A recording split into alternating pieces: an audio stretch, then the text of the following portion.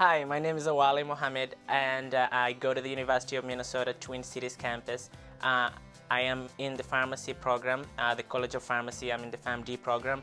Uh, I'm a first year pharmacy student and uh, originally I am from Kenya or Kenyan Somalian if you want to put it that way. With the PharmD program at the University of Minnesota, from day one you get to be involved with almost every single aspect of pharmacy from hospital experience that we do 10 hour rotations to retail experience to research to clinicals to to labs that we have all sorts of like compounding IV stuff that we've never done before. So from day one it really ignites the real purpose of why you joined pharmacy school. I come from a third world country.